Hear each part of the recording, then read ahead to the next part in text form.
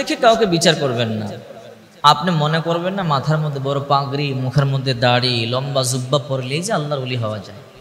আর এমনও হতে পারে একজন রিক্সাওয়ালা আল্লাহর অলি হয়ে বসে আছে, একজন তরকারি বিক্রেতা আল্লাহর অলি হয়ে বসে আছে, একজন দারোয়ান, একজন ড্রাইভার আল্লাহর অলি হয়ে বসে আছে। আর এমনও দারোয়ান আছে যে তাহাজ্জত মিস করে না, এমনও ড্রাইভার আছে তাহাজ্জত মিস করে না এমন রিক্সাওয়ালা আছে, এমনও তরকারি বিক্রেতা আছে, রোজা ছাড়ে না, নফল রোজা তাহাজ্জত ছাড়ে না। এই জন্য পোশাক দেখে কাউকে বিচার করা যায় না।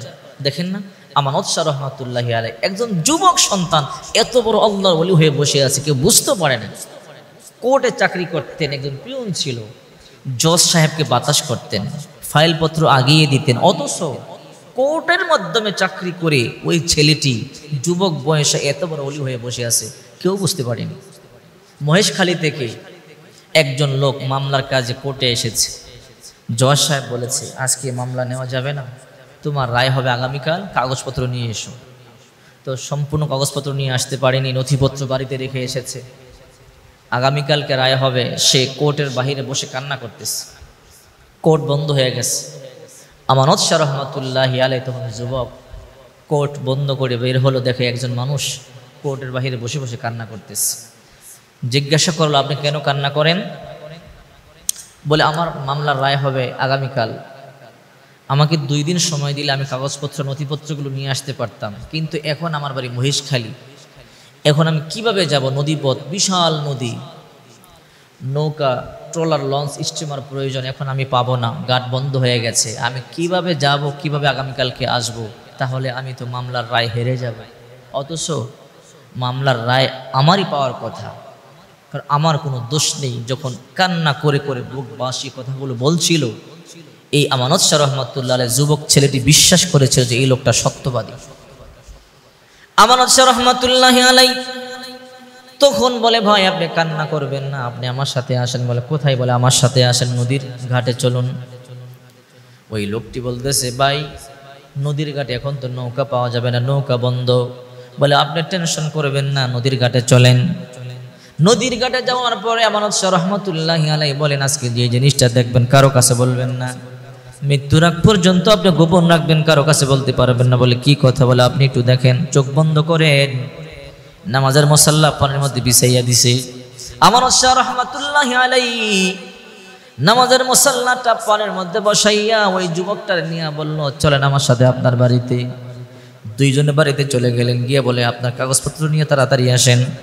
ওই লোকটা চক্ষু খইলা দেখে বাড়িতে চলে আসছি কাগজপত্রগুলো নিয়ে আবার বলল, চক্ষু বন্ধ করে নামাজের মশাল্লার মধ্যে উঠেন। নামাজের মশাল্লা পানির মধ্যে বিছাইয়া দিছে। পানির মধ্যে বিসমিল্লা বলে, আল্লাহ আকবর বলে দাঁড়াইয়া গেছে। কিছুক্ষণ পরে আমানত শাহ রহমতুল্লাহ আলাই বলেন, চক্ষু খোলেন। চক্ষু খুইলা দেখে আবার মহেশকালী থেকে আবার চিটাগং চলে এসেছে।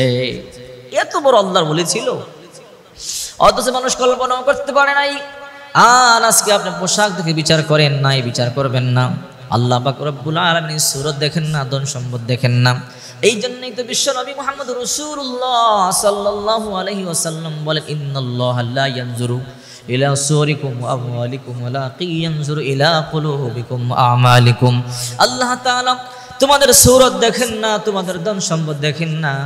আল্লাহ তালা দেখেন, তোমাদের ইমান তোমাদের অন্তর তোমাদের অন্তর কি আছে ওইটাই দেখেন। এই সৌন্দর্য, এই চামড়া একদিন তো মাটির নিচে পচে যাবে। পোকামাকড়ে খাদ্যে পরিণত হবে।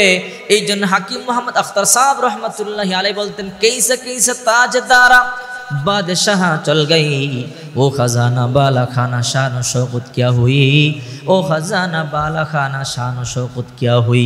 কেইসা কেইসা খবসুরত রানিয়া শাহজাদিয়া? তন বদন সব গল গাইহা, সকল সুরত কিয়া হুই। তন বদন সব গল গাইহা, সকল সুরত কিয়া হুই। কত বড় বড় রাজা বাদশাহ ছিল। যাদের ক্ষমতায় পৃথিবী থর করে কাঁপতো, আজকে ক্ষমতা কোথায়? মাটির নিচে চলে গেছে, মরে গেছে, পিষে গেছে। কত সুন্দর সুন্দর রানী ছিল, শাহজাদিয়া ছিল। কেইসে কেইসে খবসুরত রানী শাহজাদিয়া। তন বদন সমগল গাই হা সকল সুরত কিয়া হুই। যাদের সৌন্দর্য রাজা বাদশারা রাজা রাজশাহী বাদশাহী ছেড়ে দিয়া রাস্তায় চলে আসতো। ওই সুন্দরী রমণীগুলো মাটির নিচে চলে গেছে, পোকামাকড়ের খাদ্যে পরিণত হয়েছে। ওরা আজকে কোথায়?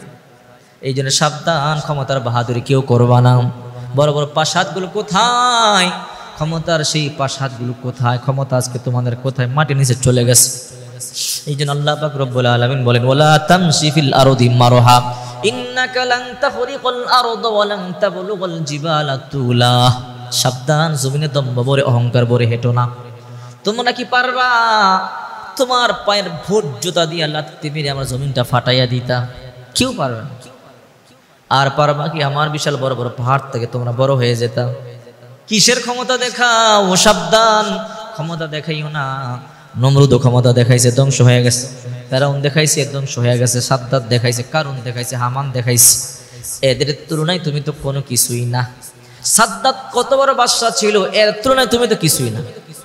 এই জন্য সাবধান, ক্ষমতার বাহাদুরি দেখাইবা না, সৌন্দর্যের বাহাদুরি দেখাইবা না, অহংকার দেখাইবা না। রসুল পাক সাল্লাল্লাহু আলাইহি ওয়াসাল্লাম বলেন, মান কান ফি কলবিহি হাব্বাত হরাদাল মিনাল কিবির, লা ইয়াদখুলুল জান্নাতা। যার অন্তরে যাররা পরিমাণ অহংকার থাকবে, ও জান্নাতে প্রবেশ করবে না। কি হবে এই পৃথিবী দিয়ে? চোখটা বন্ধ করেন তো। চোখটা বন্ধ করে দেখেন, গোটা পৃথিবীটা অন্ধকার। আজকে এত ক্ষমতা, এত টাকা, এত পয়সা আপনার। আপনি যখন এন্তেকাল করবেন, সব পড়ে থাকবে। কার জন্য করেছেন এগুলো? সব পড়ে থাকবে, কোনো কিছু কবরে যাবে না। এই জন্য কবি বলেন, গর ইমারত রাবরি গর আসমা আঁকে বা জিরে জমি গর দিনে হা আপনি বিল্ডিং বানাইতে অনেক আসমান পর্যন্ত যদি বানায়া ফেলেন, এরপরও একতলা বিল্ডিং কবরে যাবে না। আপনাকে সে সাড়ে তিন হাত কবরে যেতে হবে। এই জন্য আসুন আমরা আল্লাহর কাছে তবা করি, আল্লাহর কাছে ক্ষমা চাই, আর বাকি জীবন গুণা করব না, কারণ গুণা নিয়ে কবরে গেলে কোনো উপায় নেই।